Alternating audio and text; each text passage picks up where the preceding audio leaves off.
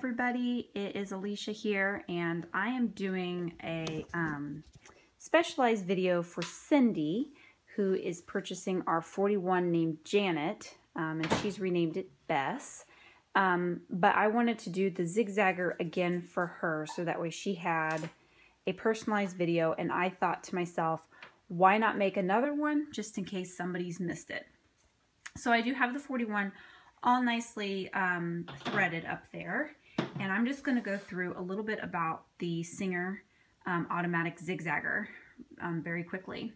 First off, there is oiling points on this little contraption, and um, I'm not going to do the oiling points in this demonstration just to save on time, but uh, as I had been pointed out to me when I first started learning this myself, the oiling points diagram is in located in the back of the Singer manual. Um, I missed it because I was looking for it in the front, and a good friend of mine was like, Alicia, it's in the back. So, long story short, it is in the back of the manual. So this is the actual zigzagger attachment. I'm going to go ahead and turn on the light here because that little light does help. This is the zigzagger attachment, and these little cams fit inside of here. And if we look on the cam, you can see that there are two little notches. And I'm going to explain a little bit about those notches, but really quickly, these cams, you want to put a drop of oil inside of there. So I'm going to grab another cam out of my box because I've already put a drop of oil in that one. I'm going to grab my oil really fast. So you just stick a drop of oil right inside of the cam on the outer portion. Not in the hole, but on the outer portion. I need to grab a rag. I got a drop of oil on my table. Um, so then talking about back to those notches, there is the notches inside of the cam. Let me see if I can stand where you can see it. Um, right there it is.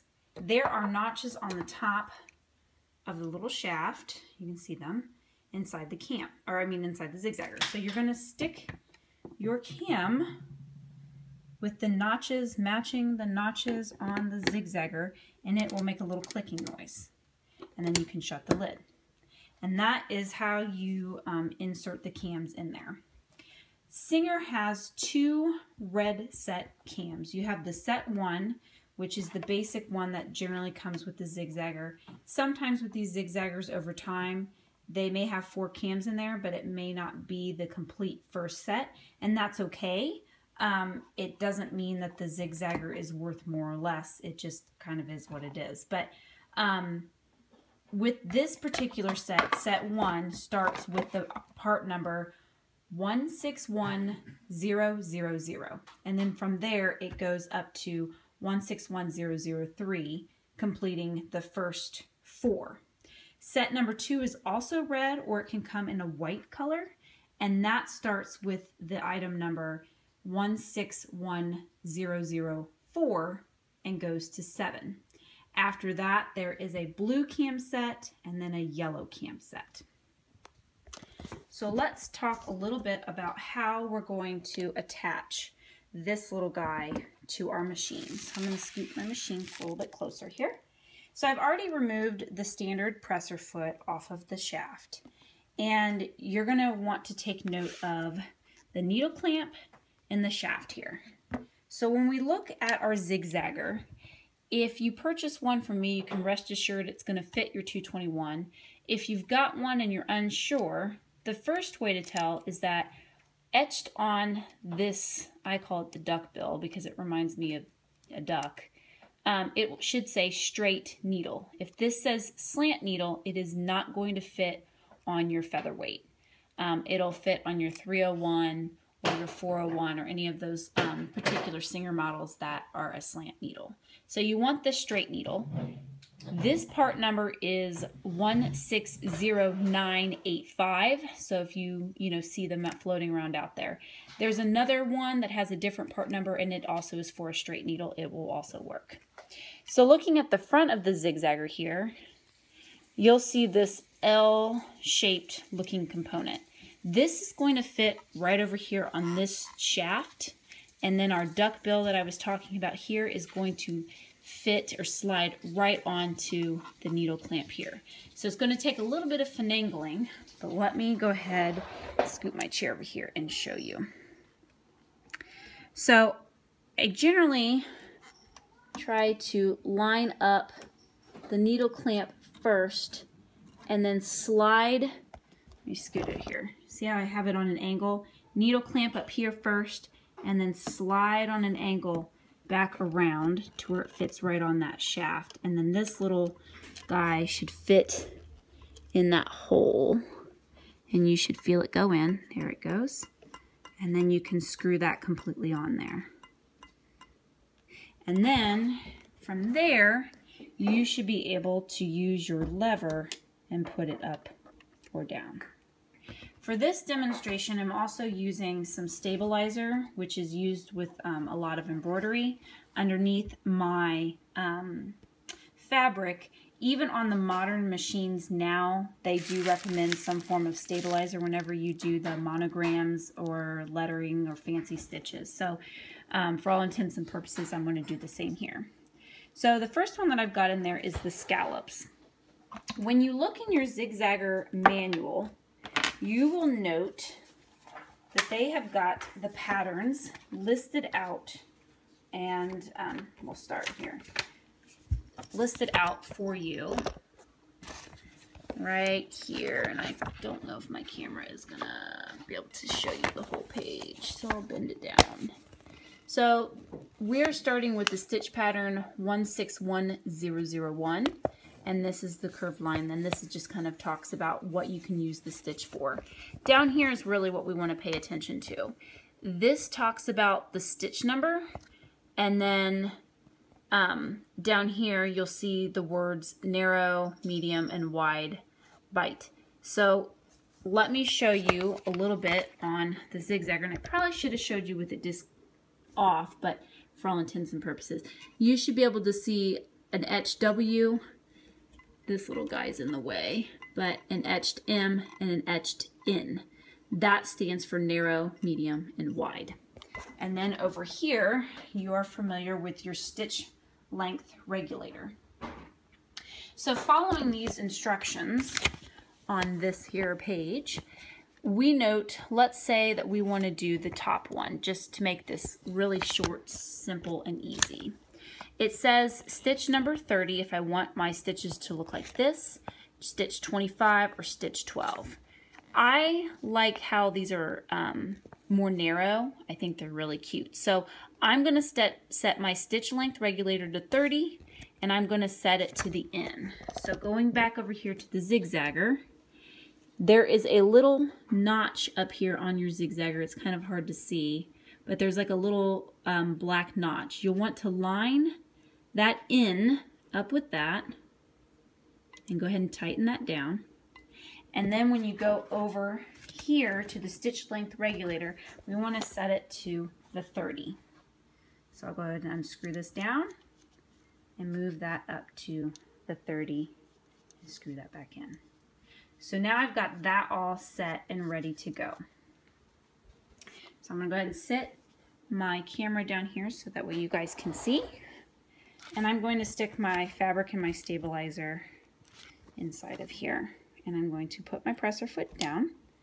And then really from there, you are just going to stitch. And you know what? I just realized that I cut black fabric and have dark thread. So give me just a second. Let me grab white fabric because you're not going to be able to tell anything with dark fabric.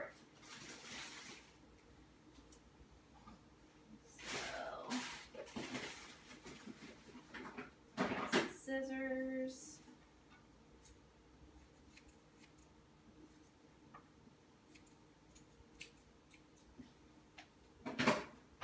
All right, sorry about that. Okay, so I'm going to stick my light fabric on my small piece of stabilizer here. And I am going to go ahead and lower my presser foot.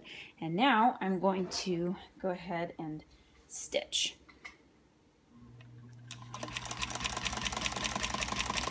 The zigzagger itself is what moves the fabric back and forth. I'm just going to kind of show you. I'm not holding on to it, so it's going to go any which direction on my fabric, which is okay.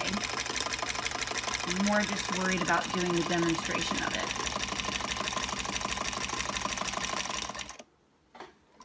Go ahead and put my um, lever in that post position.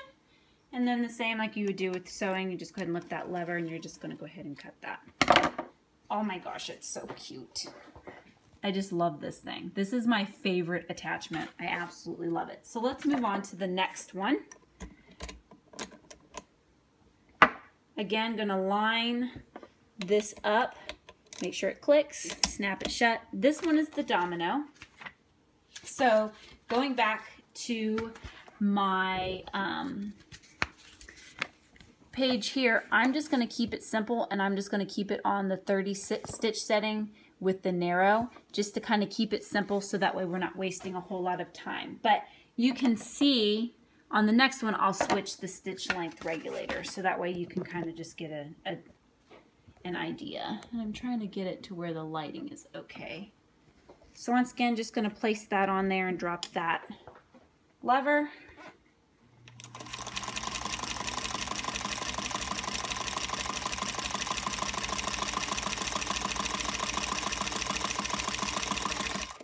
Looks like it, there we go. Don't want it to hang up there. Oh, it's definitely hanging up. Want to make sure your threads are out of the way. Definitely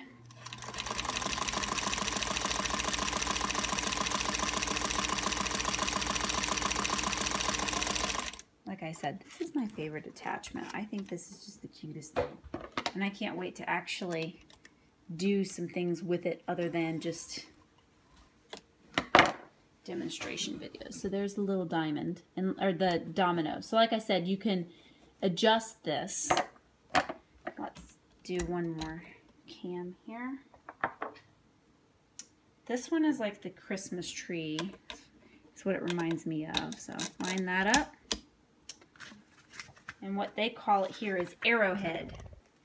So again, kind of looking at this, let's go ahead and let's do the stitch length over here. Let's just do it to 25 and then let's set it to wide. So going back over here to my um, zigzagger, I'm going to move it to the W and then I am going to set my stitch length regulator to 25. So I'm just going to drop it down just a little bit. Stick my fabric in there. Drop my presser foot.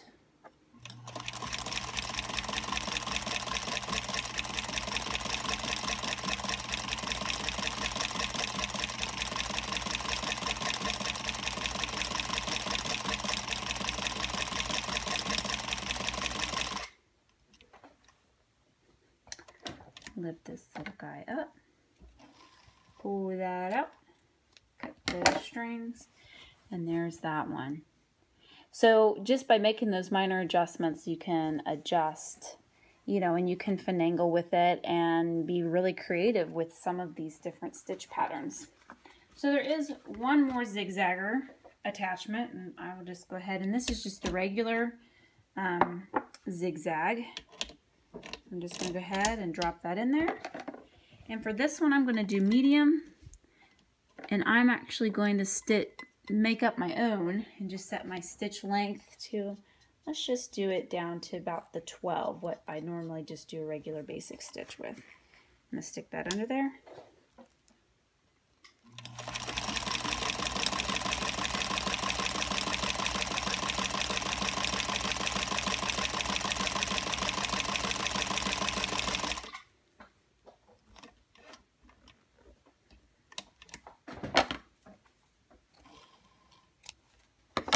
And there is, oops, and there is my stitch. Adorable. So, Cindy, this little girl is ready for you, and we will definitely be sending this out to you. Um, it's sewing wonderfully. It demonstrated the zigzagger awesome. So if you guys have any questions, feel free to post them in the comments. If there's a specific, you know, uh, movie that you would like to see yourself, just let me know.